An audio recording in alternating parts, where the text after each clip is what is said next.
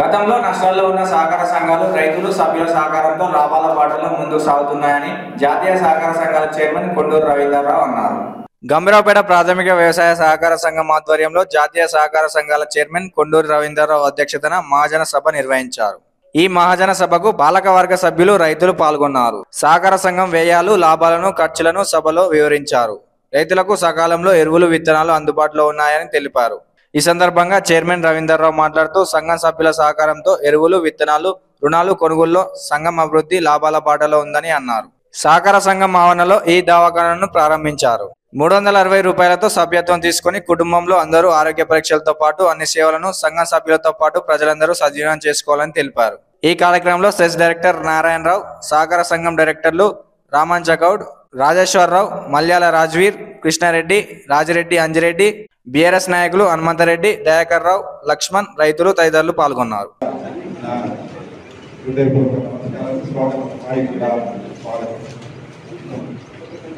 ఈ ఆరు నెలల కాలంలో మనకు పోయిన సంవత్సరం జరిగిన ఆడిట్ రిపోర్ట్ అంటే ఇరవై మూడు ఇరవై నాలుగు సంవత్సరాల కార్యకలాపాల్లో మనం చేసిన కార్యకలాపాలన్నింటి కూడా నివేదిక ఆడిట్ రూపకంగా అధికారి డీసీఓ ఆధ్వర్యంలో ఆడిట్ అయిపోయి ఆ నివేదిక కూడా ఇలా జత చేయడం జరిగింది.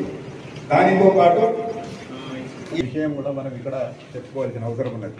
ఒకప్పుడు ఏమీ లేని సంఘం రెండు వేలు మూడు వేలు ఐదు వేలు కూడా ఇచ్చడానికి కష్టమైన సంఘం. ఇలా ఏదంటే అది ఇవ్వడానికి సిద్ధంగా ఉన్నాం. ఇప్పుడు ఇప్పుడే చెప్పి ఈ ఆరు నెలల్లోనే పదమూడు కోట్ల పంట రుణాలు ఇవ్వడమే కాకుండా టోటల్గా ఇరవై ఐదు కోట్ల రూపాయలు ఇరవై ఐదు కోట్ల రూపాయలు వ్యవసాయ రుణాలు కేవలం వ్యవసాయ రుణాలు ఇంకా వేరే రుణాలు కాకుండా ఇవన్నీ కూడా చేయడం జరిగింది. అయితే ఈ అన్ని కార్యక్రమాల్లో ఈ ఐదు నెలల్లో అంచనా ప్రకారం అంటే ప్రాథమిక అంచనా ఇది కరెక్ట్ కాదు ఇంకా దీన్ని ఆడిట్ చేయాలి ఖర్చులు తీయాలి.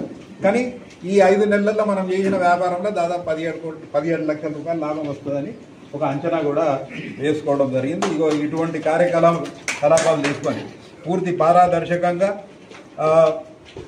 మీ అందరి సహకారం